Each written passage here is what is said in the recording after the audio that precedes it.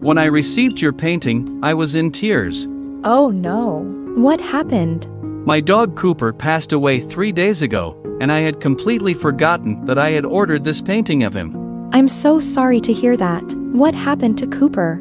That day after he finished his meal, I'm about to take him to the dog park, and as we were coming down the stairs, he suddenly foamed at the mouth and collapsed.